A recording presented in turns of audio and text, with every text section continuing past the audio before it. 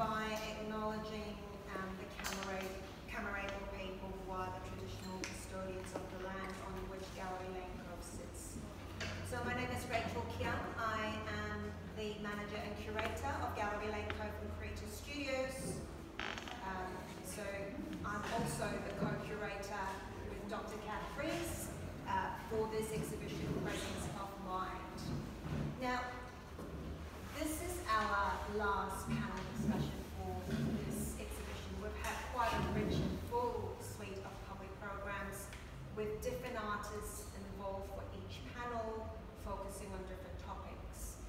today's panel really um, is structured in the following way. So we'll begin by looking and talking about the practice of the two artists here with us, Aryadharma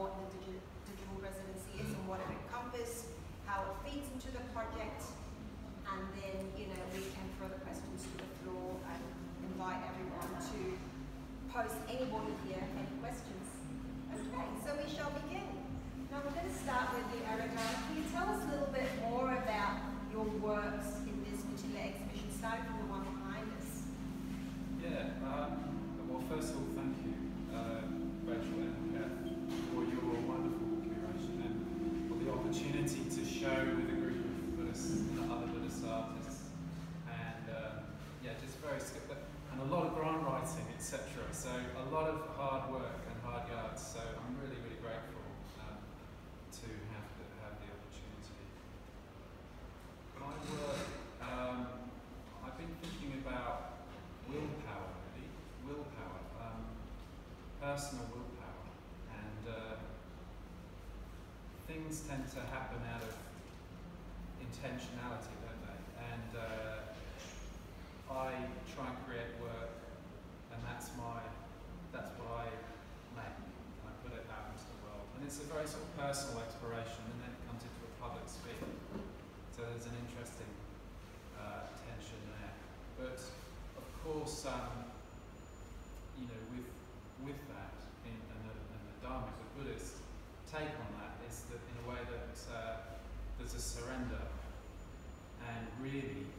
there's a recognition that my willpower exists within a within a context, within a an ecology, and the things that uh, traditionally that um, traditionally art, art paintings come from the author, from the artist, and they're kind of seen as the kind of sort of uh, genius or the the hero, isn't it? It's the hero's work, and I think I'm more interested in paintings which let that go a little bit, surrender that willpower a bit.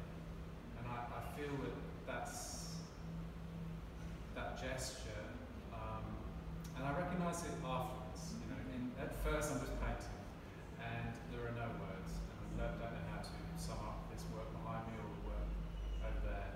But I can say that they're about um, practice, and part of that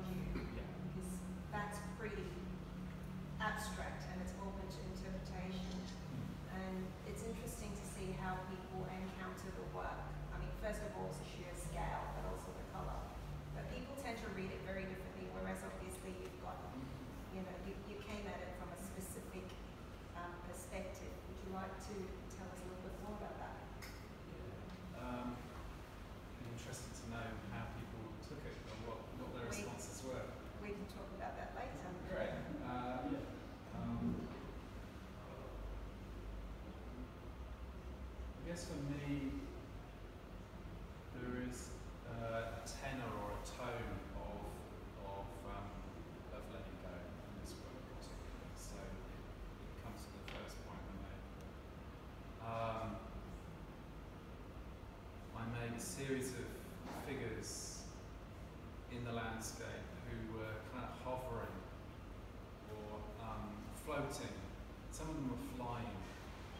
And I wondered what this was about. Intuitively. Um, initially, it was a figure that was dislocated from the landscape. So it was, in a way, it was me reflecting on my dislocation as a, as a Caucasian um, white person from, from the UK from this the ancestral um, connection with the land and, and reflecting on that. And then it became more about um, uh, a sort of dislocation, psychic dislocation, um, about floating above things as well. Uh, perhaps a more personal narrative there. Um, and this one was uh, an extrapolation of one of those works, basically. And but I, I really liked my friend's response when she saw it, which was, "Oh, that's that's more than a painting. Something happened." and I thought, yeah, actually, that's really great. I, I do want to make more than paintings. I want to make um, some, you know, reflections of something that happened.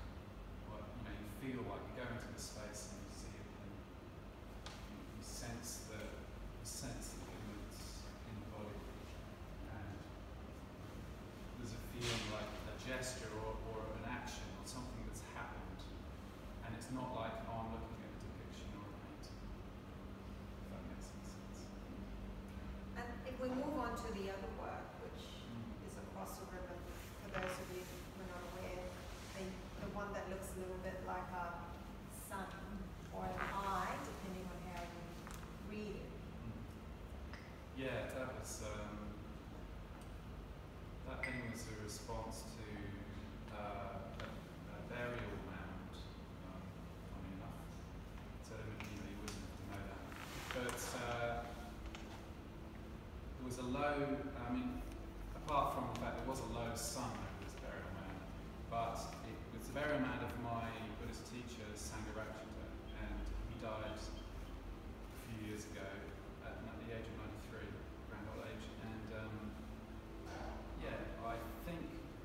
reflection a year later that it's about the gradients of his, of his mind and his teaching. Um, so it's, it's, about any sort um, of radiance, the reach of someone's radiance. Mm-hmm. Mm. I just captured that part beautifully. Thank you. I'm going to move on to Kath now. Uh, Kath, um, please put on your artist hat.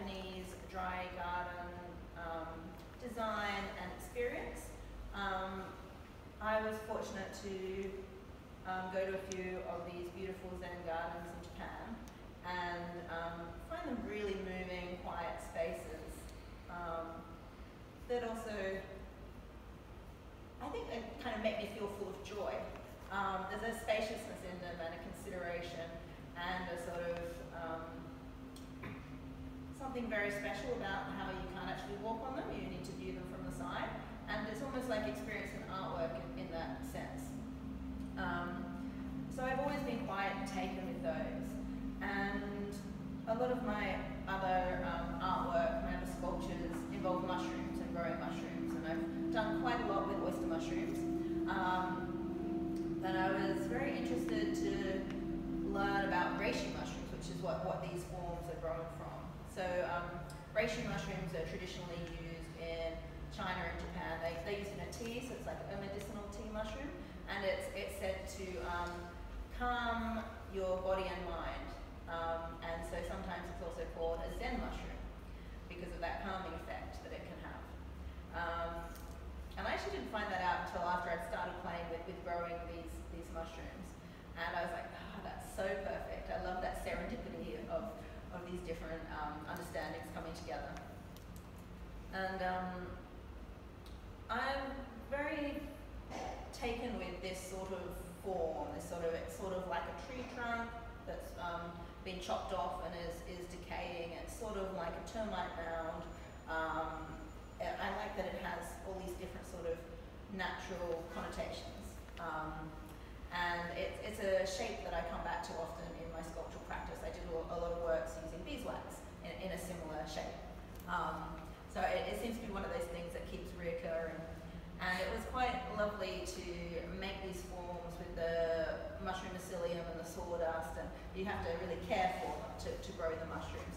So I have like a, uh, um, little sort of temporary greenhouse set up in my studio to try and keep the conditions right to grow the mushrooms, keep it moist, try and keep the airflow happening um, and give them the right amount of light because they actually do need quite a lot of light for the mushrooms to come out. Um, so there's something that I really enjoy in all of that attention to detail and that coming back to it very frequently to see how they're going. And you know, I get excited and I talk to them and, and you know, say, how you going? You turn around, what's happening here? And, you know, maybe we should reposition you and swap you guys around. And so, uh, you know, um, it all gets very um, personal. Have these relationships with the works. And I, I like to talk about the process as being co-created. So these um, forms for me became like the standing stones in the Zen gardens. So usually in the Zen garden you'll have the raked gravel and then you'll have little islands of moss with the stone eggs on them. Um, so I wanted to conjure that in, in, in this sense here um, and have this sense of sort of these sort of quiet islands amongst this sea of the, these broken forms, which were, which were um, the molds from um, casting objects. They, they, weren't, they weren't from my objects, they it was from an industrial process of, of making objects. Um, and someone gave me all the broken pieces, which I was like, oh, they're fascinating. At the time, I had no idea what I wanted to do with them, but I thought, yes, I think I need to hang on to them. So they've moved through a few studios now, and they're quite heavy. So I'm, I'm glad this manifestation has happened um, here. Um, so there's a sense of, like the raked gravel, like the movement of water through these broken pieces on the ground, and then these quiet, almost like islands, um, with the reishi mounds on them. And I wanted some also on the floor, and in the process of playing with these forms, I discovered I could make them into like a lotus form with these, um, almost like these layered lotus petals coming out. So I tried to sort of conjure that beautiful Buddhist tradition of the lotus flowers that come up from the mud. Um, that's uh, su such a wonderful metaphor for the path of meditating and dharma and learning and um, conditions of your life and how you can find your way through these layers. And it's quite different from the work at the other end, where it looks like a delicately perched tree branch. And would you like to talk to us about the meaning behind the work and you know, the process and how it leads to presence and power? Um, so that work I made and, exhibited for the first time in 2011, so 10, so 10 years ago. Um, and it's been exhibited in a few different contexts um, and with different meanings associated with it since then. Um, but it was lovely to sort of bring it back to its original meaning for this exhibition because I found this beautiful magnolia branch that had been cut off. Think it was people trimming the, uh, the trees around the power lines. Um, you know, sometimes that can be quite brutal. But uh, this particular branch looked like it was like meant to be um, a form in and of itself. So I remember collecting that branch from the side of the road, thinking this, this is just such a beautiful branch, and I love the tiny magnolia buds that are kind of velvety, and the way that magnolias have the buds before the leaves come out. And it has a, a lovely sense of this um, about to burst forth into life. It has this sort of moment of um, possibility. Um, and the process of casting it in bronze was a lost wax technique where they put like a um, ceramic around the outside of the branch and then pour the molten metal in so it burns the wood out from inside and what you're left with is the branch. Um, and it became, for me, kind of a reflection on impermanence and loss and trying to hold on to something that, um, that you love. And uh, spoke very clearly to me about my experience of my father dying and the grief of trying to come to terms with life without him and all of my expectations of the future, which he was going to be part of. And he was an anchor and supportive and um, such a big part of my life. And then to suddenly lose that, to kind of grapple with how much you love somebody and then them not being there anymore. Um, and a very kind Buddhist friend and mentor, um, Lindy Lee, who I, who I had studied with and continue to study with, I spoke to her at the time and she said, she gave me some very good advice. She said, it's really difficult, but all your emotions are very important. And if you can, try to sit with the experience of what you're going through, with the grief and loss and the love that you feel, because the, the grief is, is love. Um, it's all part of the process of, of living and, and suffering, but also finding the joy of remembering all of what's been given to you. Um, I'm not sure actually she said that much. What that's what I've taken from that. what I think she said is, you know, try to sit with it and be open to it. Don't try to grasp onto it, but um, just be with it. And that advice to be with the experience as present as you can was really wonderful advice, and you, you can tell I reflected on it quite a lot. And I think um, this work, it's called Hold Dear, that works. It's about holding dear to um, someone you've loved, who you've lost, but also um, doing it in a generous way, to be generous with yourself and to not cling to it either. Thank you. Thank you. Now we're just going to move to the next part of our discussion, which is about the project more broadly. So for those of you who, who haven't actually had a chance to look at the exhibition or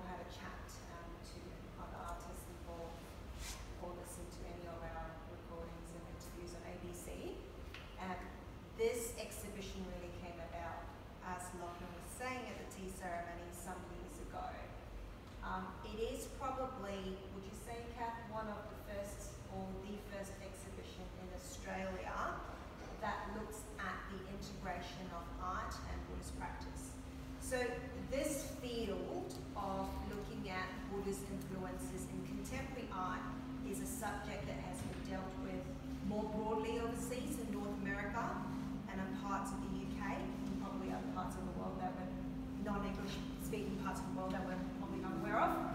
But um, certainly not so much in Australia. There were some shows in, in the probably early 2000s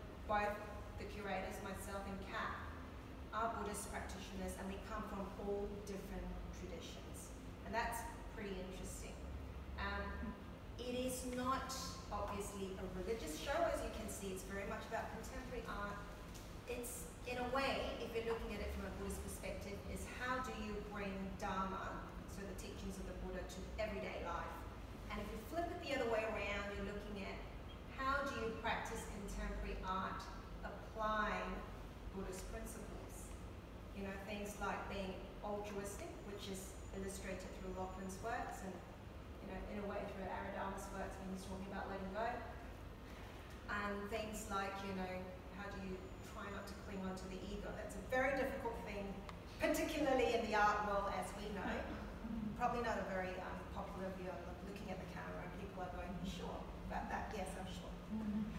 Um, so, so this is quite a different project from that angle. Now, there are a few components to this exhibition, like I said, um, to this project. So, before the exhibition be- began, there was a lot of research that Kath and I did from different angles.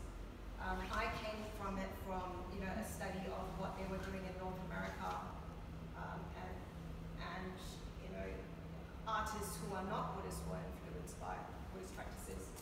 Kath was doing it for a PhD and probably looking at some artists from the UK. But anyway, they came together and discovered, oh, this is actually a worthwhile project to do.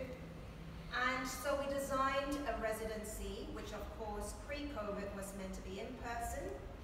We broadened it to really begin to look at the Asia Pacific region, but just starting with a small exchange with Australia and Singapore and looking at how um, artists, while Buddhists, sort of, practice their art in different ways.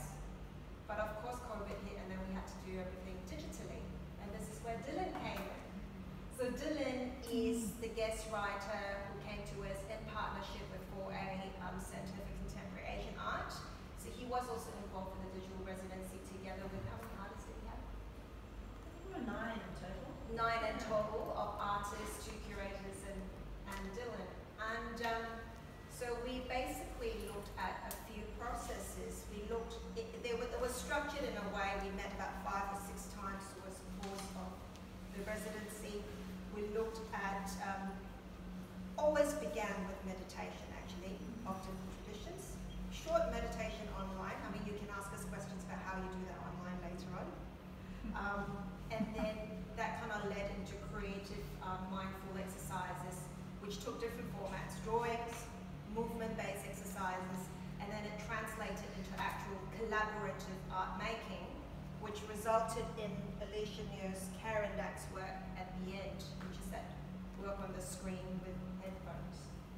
Now I'm going to ask uh, Dylan now to talk a little bit more about his responses from a sort of secular, non-Buddhist perspective of his experience of the digital residency and the project at large.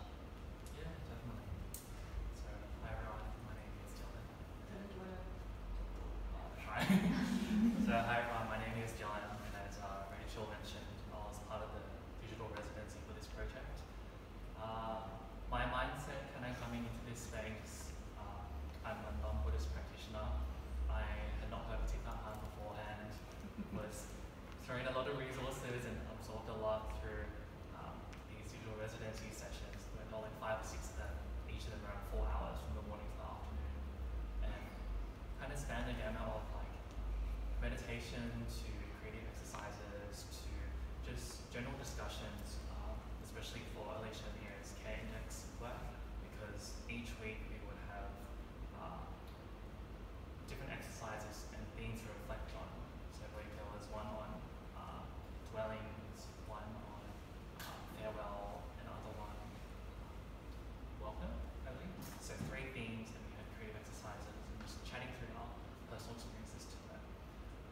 I would say at the start of the digital residency, I felt a little bit out of my depth, uh, not knowing exactly how I would relate to these themes, these artists, and the works that they were showing here. But over the course of the residency, what I came to find was that a lot of the themes that the artist was grappling with in terms of like dwelling, farewells, and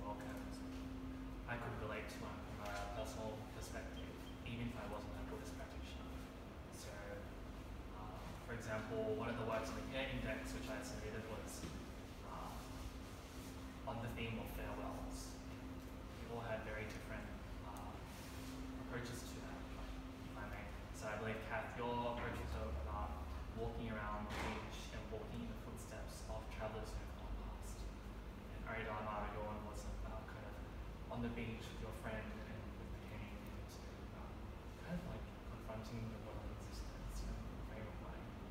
And my approach to that was, um, funnily enough, at Brookwood, that's well, which seems to be a common theme, but um, yeah, at Brookwood and and trying to communicate with my um, brother who's passed away there through pulses, like with my arm on the gravestone. So I think over the course of the digital residency, what I came to find was that a lot of these themes, even though you can look through it through a Buddhist perspective, I I really resonated with them, and that became even clearer when I started looking at um, Alicia and Cindy's works.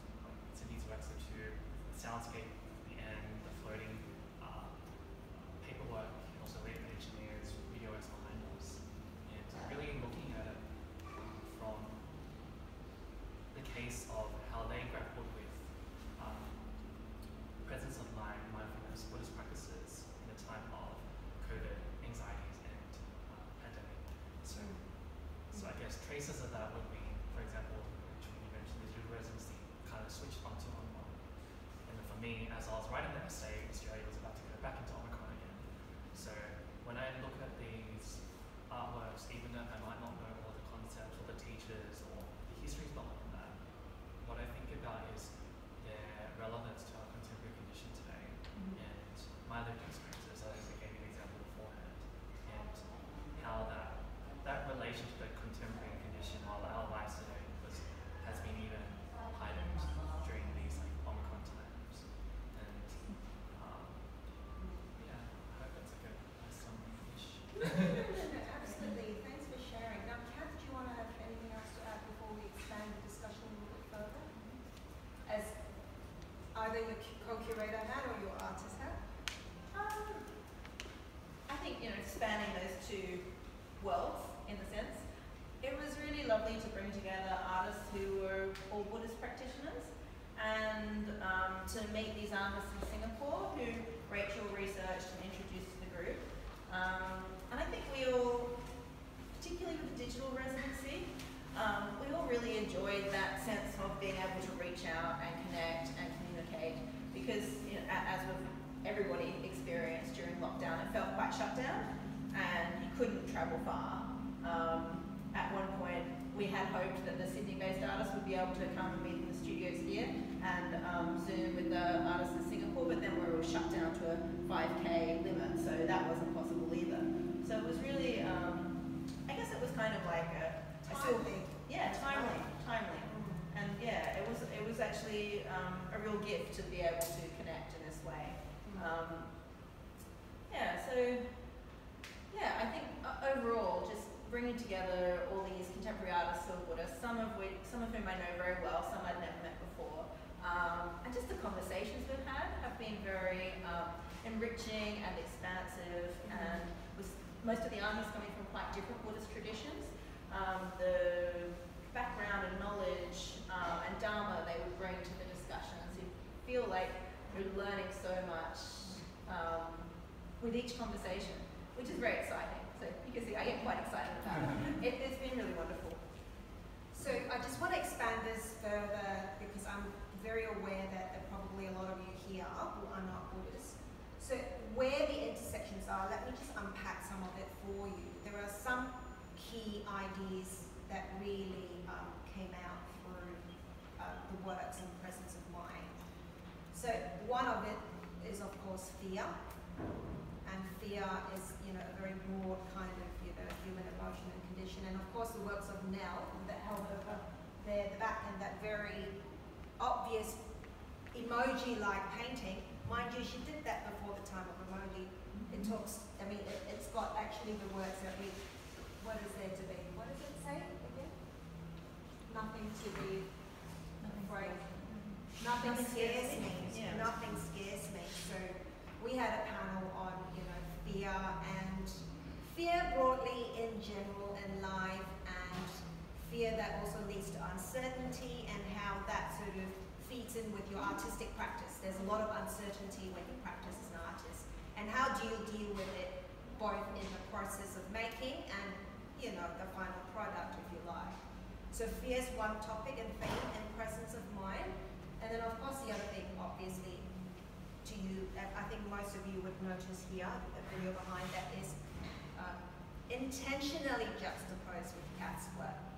It, it is evocative of meditation and specifically the practice of walking meditation. So this artist, Jason Lim from Singapore, is a very well-known performance artist who also works with ceramics. To him, performance art, you know, the action of actually being very aware of your body and using your body as part of your creative practice is in a way, you know, meditative. And in this work, you know, you see him walking very slowly across a landscape, carefully balancing a rock. Um, so it's, it's, it's a reflection of, you know, um, being aware of each moment and each step and breath you take. And Kath's work here, um, for those of you who haven't experienced it, you, it actually invites you to walk around it. It's a little bit of a circumambulating um, process.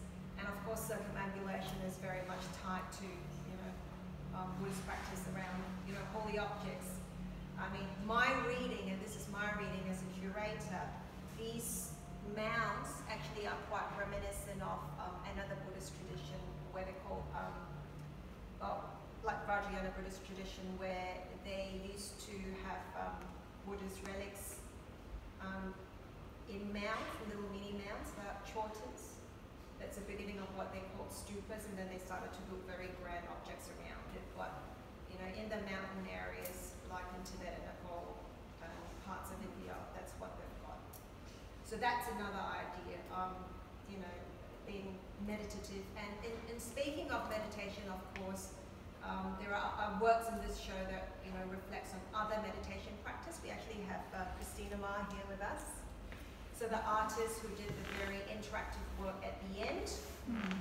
It's literally a meditation room, and it sort of draws on the Vajrayana, or if you like to call it Tibetan Buddhist practice of Tonglen, which is another type of meditation, and the practice is to exchange self for other again, it's a very interesting idea because in contemporary society, everybody wants to get rid of their suffering. But this is a practice where they say, come on, I'm just going to take on everybody else's suffering, and in exchange, I'm going to give you peace and happiness. Quite confronting, but again, that is a process of, um, you know, cultivating compassion, if you like. And she's very skillfully um, sort of extracted the visualization aspect and worked it into a work that is so multi-layered. So you can actually go into the work and just look at the screen. You can interact with your phone to uncover and discover the augmented reality layers, of which there are animations and videos. And then you can choose to do both and sit in that space. And we've had people sitting in there and doing their own meditation practice. It's just beautiful and lovely. So those are some of the themes. And of course, um, we have a number of um, works that deal with the topic of death, which in contemporary society is really a taboo topic. And um, uh, but for Buddhists, we often meditate on death, and we have Venerable Joey with us here today. Thank you. I'm sure we'll have a lot more she can share with you about, you know, the notion of how Buddhists approach death and kind of reflect on death and how that helps you with life and also how to practice, um, you know, compassion and also letting go.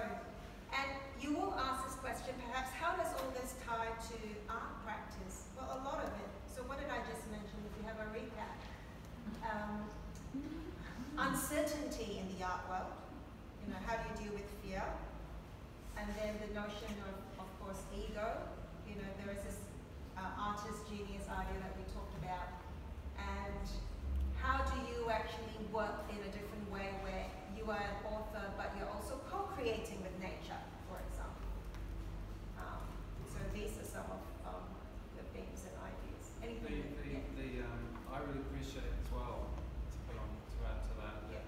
The, all of these discussions and the other discussions were, are all on video on the website. So yes.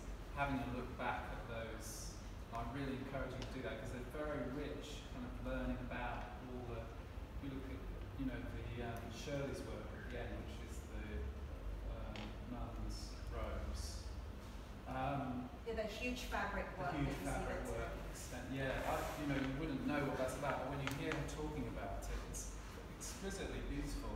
All of the different threads that have gone into it, the, the, the, the ideas, the actions, what she's done to gather those clothes and then stitch them together. It's, there's, there's a lot of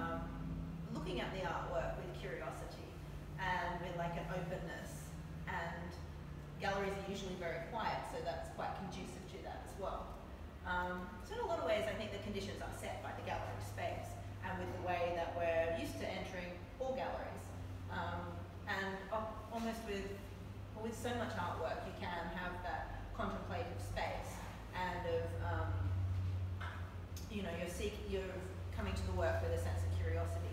So I think I think naturally most people do come to the artwork, come into the gallery with that way of thinking and looking. Um, so yeah, I, I, I would just generally say, yeah, with, come with come with curiosity and an open and you know different ideas and associations that come up with the work. Um, they're all valid. It's not just what the artist or the curators think; it's what you think is just as valid.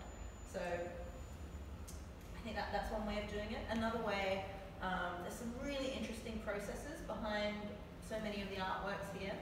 Um, you know, fr- from growing mushrooms to um, the beautiful layers of transparent paint. Um, Nell's amazing work with the um, the glass, and she's etched into it with a tool and then painted it, and it's very much the sort of work where you can't make a mistake because you can't go back and change anything. Um, and Alicia's amazing research into um, these different families. So I think um, delving into the process behind the work is also really interesting. The materiality of all the works here.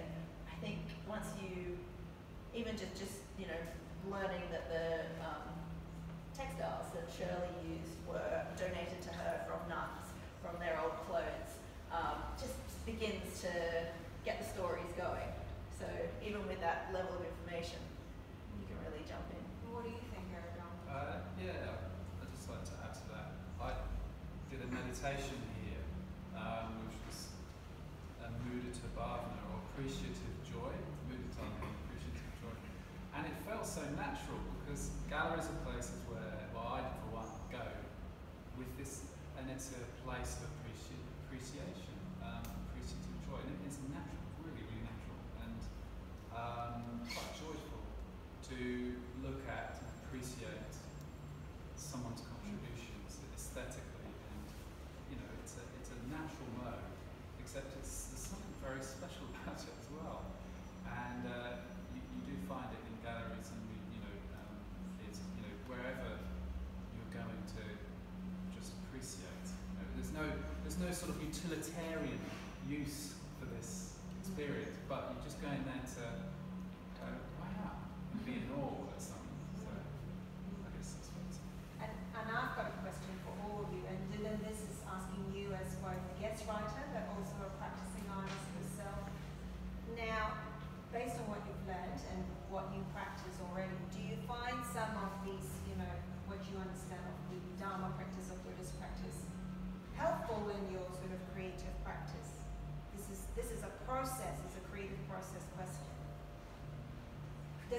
with experimentation. This is a big one.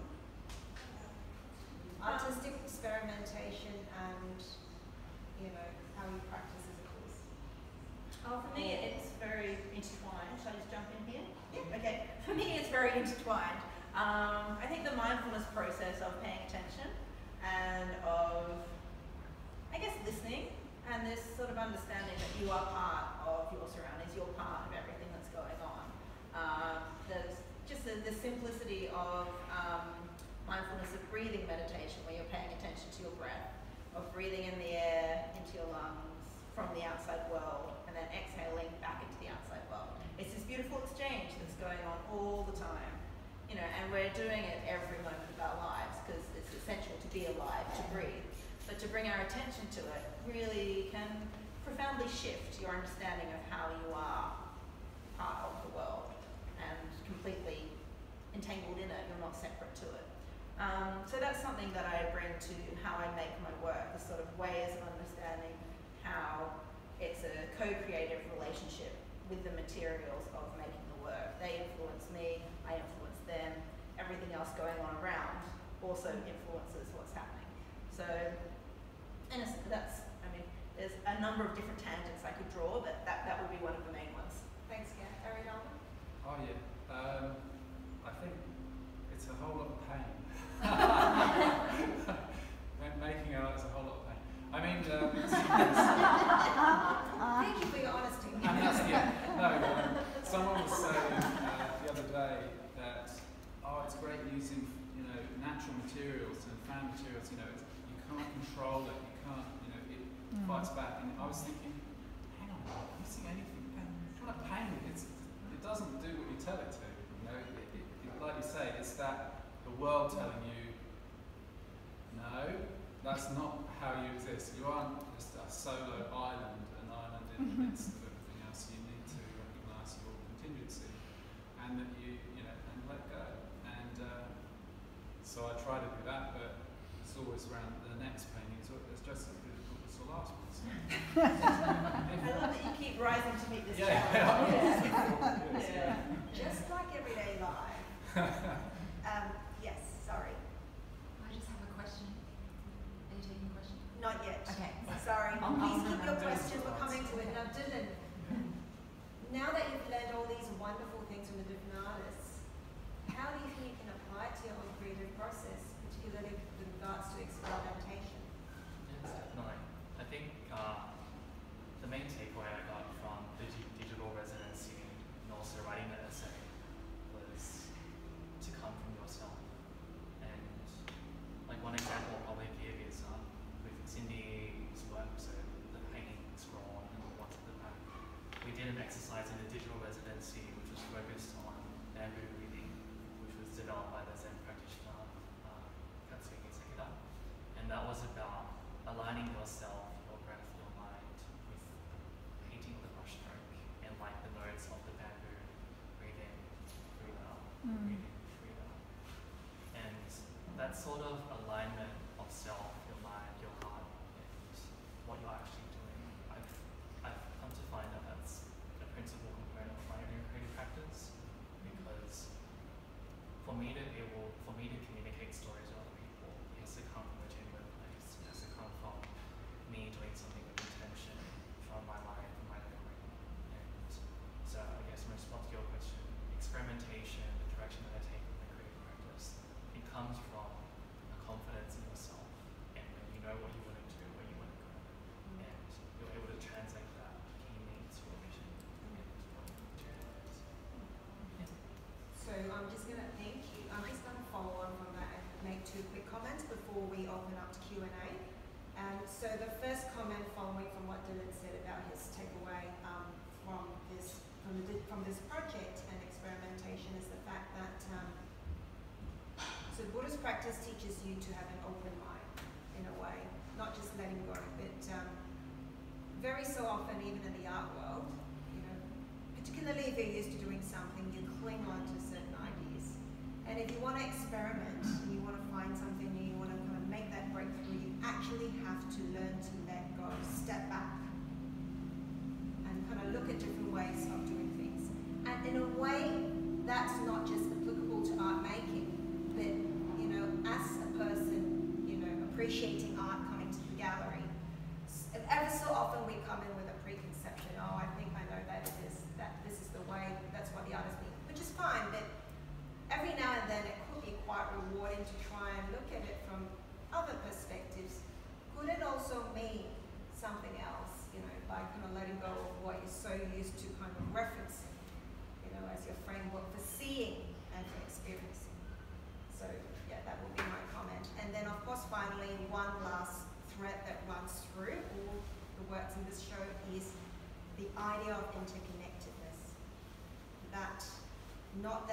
not just that all all the artists and all the works and all the materials are interconnected. It's really talking about interconnectedness of all beings. Now it is a very Buddhist thinking, but I will sort of bring it back to contemporary secular life. Um, you know, more and more these days, you know, there are sort of schools of thoughts around new materialism and post-human thinking. What does that mean? That means, you know, we're moving away from a human-centric world. It's not just all about us humans, you know, you need to think about all other beings and the environment in which you coexist with. So that's another sort of main thread that holds this show together. And um, on that note, we'll now open um, to questions from the floor. I've got questions here. Uh. Ve- yeah, Chris- you want to go or Venerable Dewey? Uh, no, but I have a question. Yeah. I have a question um, for all the artists. Um, Dylan.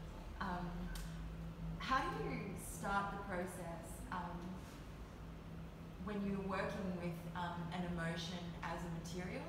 Like, how do you begin that process of, for example, making the first mark on the canvas or, um, you know, working with um, another physical material?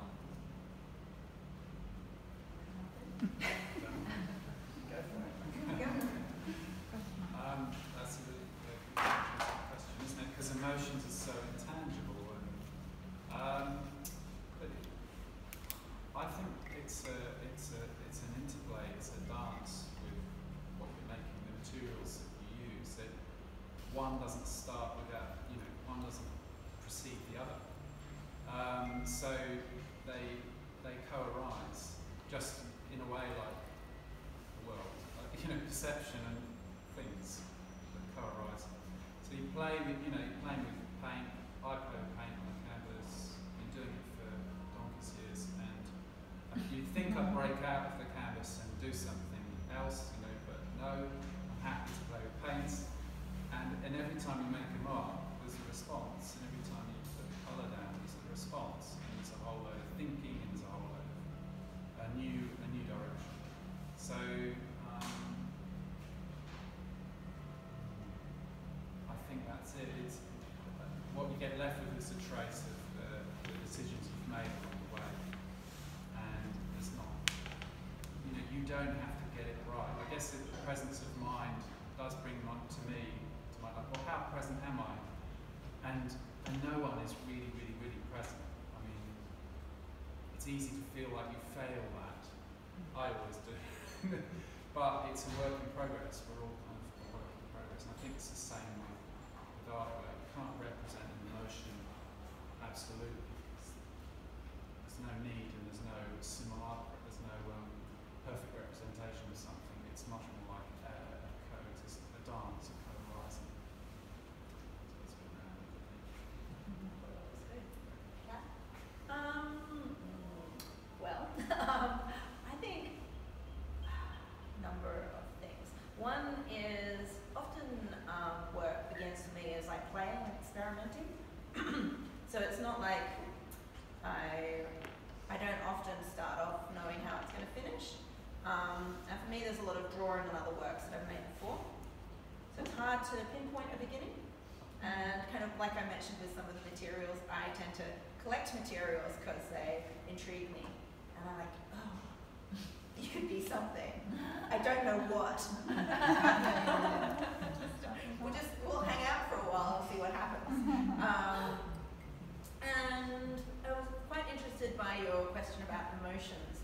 Um, emotions, well, they're difficult, aren't they? And they're so impermanent. You really experience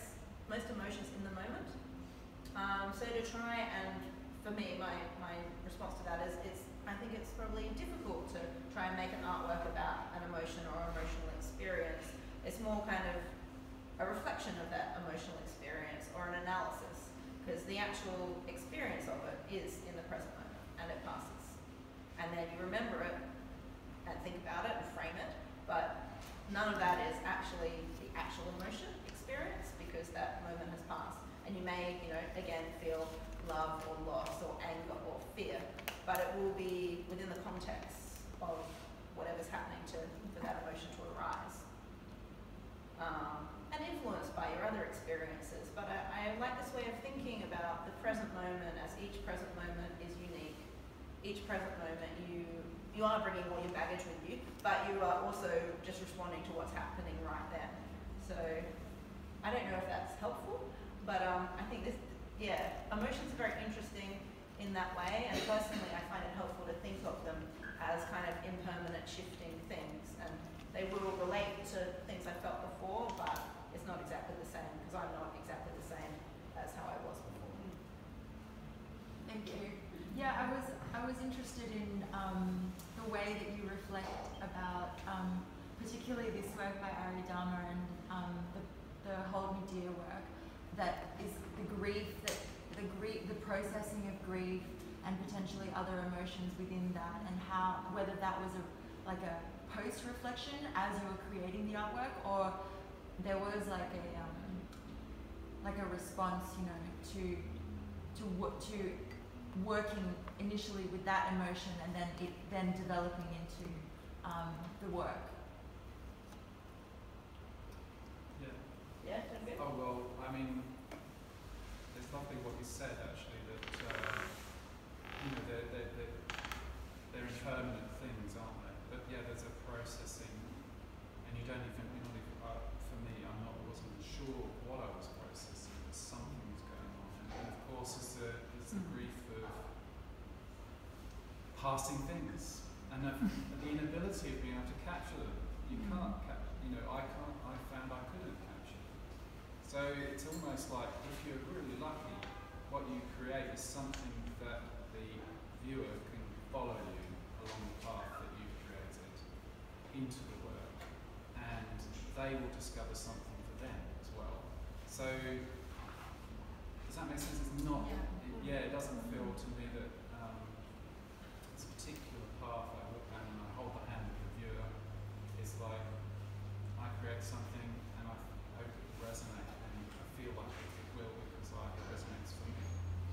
Can I respond quickly as well as a curator? I think it really depends, obviously, on the individual artist, but I think your question was directed to them. But I think the material and the form that the artist choose to work to work in does impact, you know, the immediacy. So coming back to things like performance art, that's immediate. I mean, obviously, this is a recording of a performance, but I think performance art because you use your body in a specific time and place if you're actually feeling something at that point in time, unless you have like a preconceived kind of script that you are performing to, more performing arts rather than performance art, then actually performance art offers that immediacy.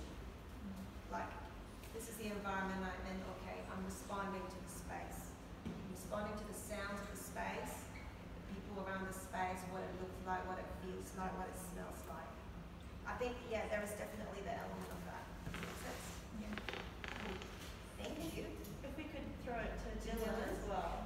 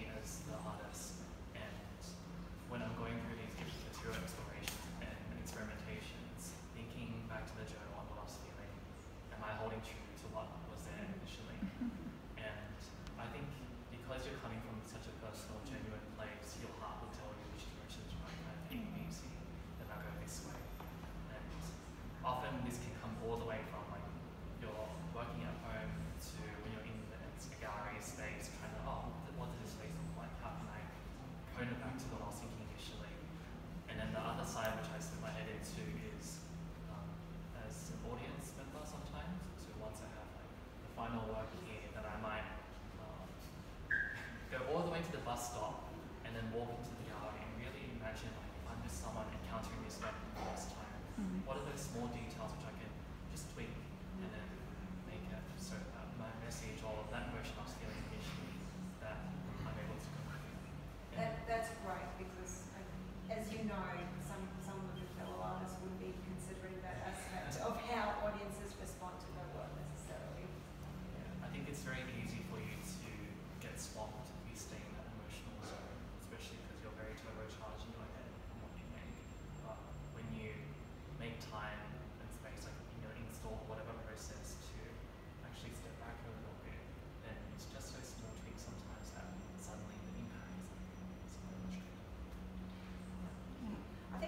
time for two more questions. Um, yes. Uh, thanks, everybody. I've got a question which I think uh, arises from the discussion, and that's from my perspective as a, as a visitor. Um, and it relates to art, uh, well, it overlaps Buddhist meditation and art, and it relates to art as giving the viewer a glimpse of, of reality. In other words, the, the, nature of reality in that, in that moment. So from my perspective, you presented the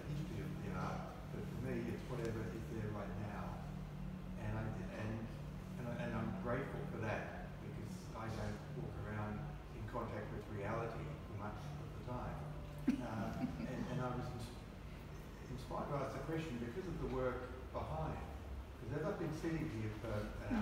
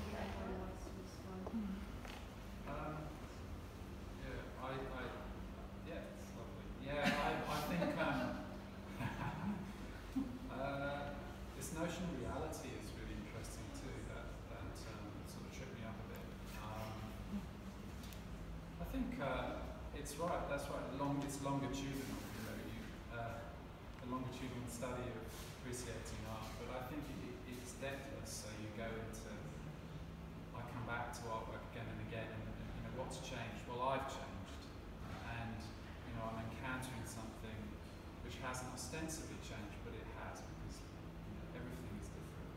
So what can I learn in that? What can I see in that? And that's where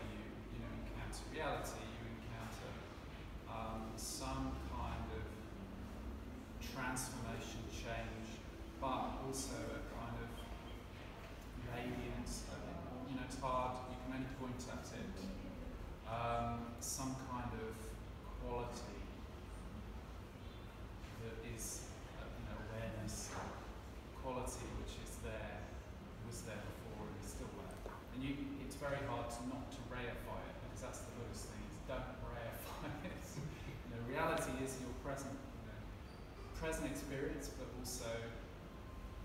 continuity of your intention. You know, it's the whole shebang. What are you trying to do? What? Who are you? What are you? I, you know, it's it's it's a big big question, isn't it? So, but in Buddhism, it's not philosophical.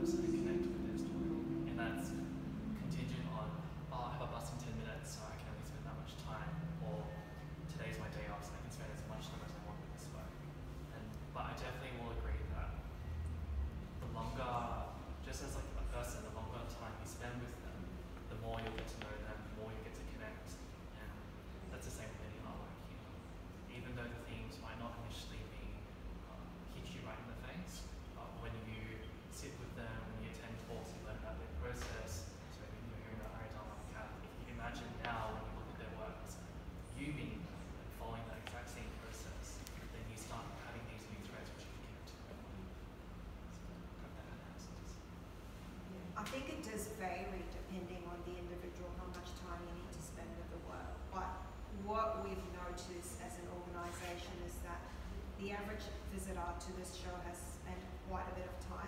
It's one of those shows that invites you to actually really sit with the works or stand with the works and take a bit of time to engage with it and think about it. Um, I mean, equally, and that's not to critique any other shows because we put a whole variety of different shows in all the time. Sometimes you get people just coming in and five minutes they're out, but this is not one of them. Mm -hmm. It actually invites you to sort of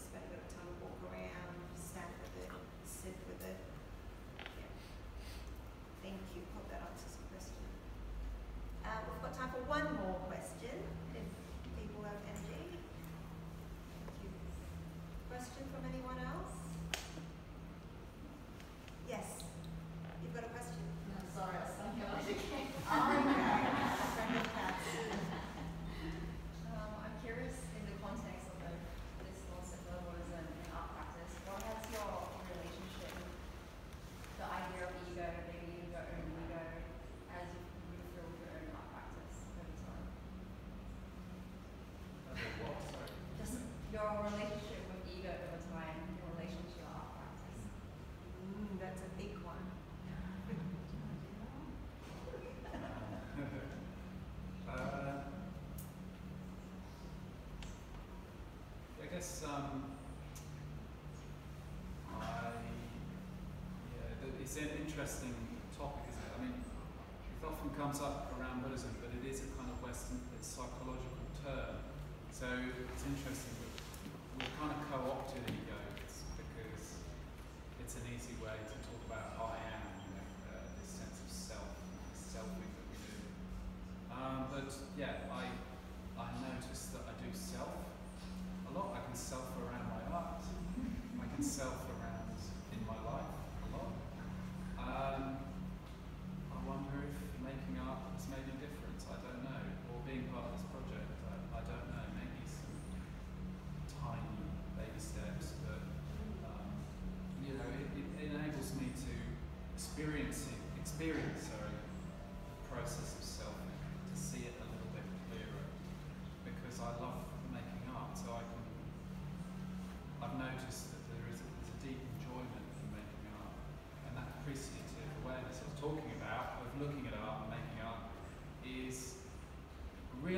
with ego. It really helps with selfing because we we're letting go of ourselves in that moment. We're just focused on the other. We're just focused on the artwork. So, um, and when you, if you're lucky when you're making work, you kind of s- you become more uh, attenuated and less. You can disappear if you're really lucky, but you can, you know, you, you become more attenuated and blended into this awareness of, of art, this awareness of the world. Does that make sense? Anyway, it's a beautiful word. There's a nice one. Yes. Yeah, I mean, I think it's it's very difficult. I have to say, it's something that I really struggle with this because so much of the art you've got to be so self-driven and self-motivated, and self-promoting, which is exhausting and hard. And you see what other artists are doing all the time, and it's hard not to compare yourself. And I mean, I constantly feel like I'm not really doing a good enough job, and I've kind of failed, um, which is tough. And at the same time, I can look at it from another perspective and go, well, I'm part of this really rich artistic community, which I love and feel. And when I can take that perspective, I can feel much more celebrate everybody's um, triumphs and you know successes and the fabulousness that they've been able to continue with their practices and keep going. But it's a tough one because you've got there's so much emphasis on you as an individual, as an artist, and having to push your practice and what you're doing.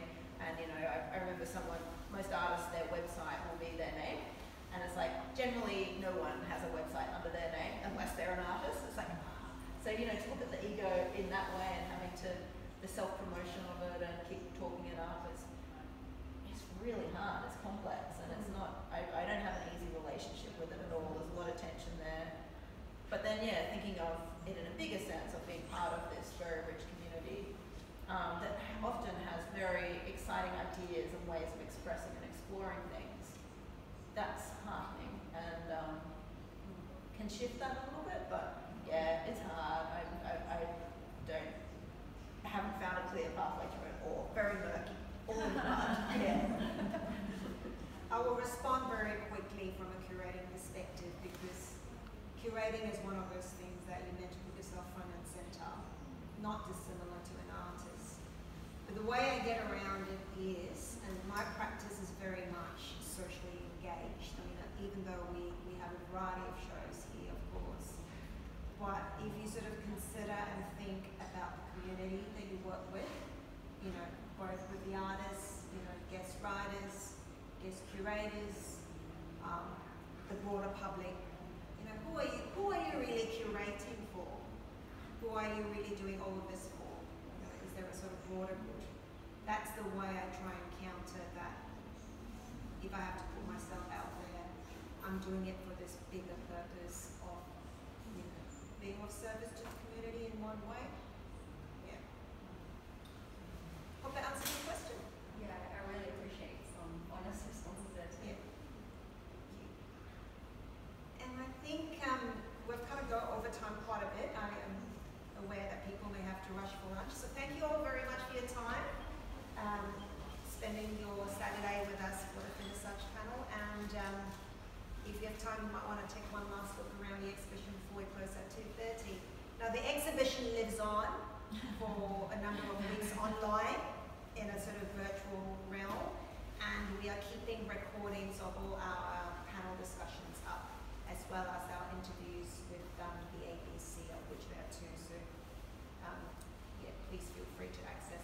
resources at your own time. Thank you. Thank you, everyone.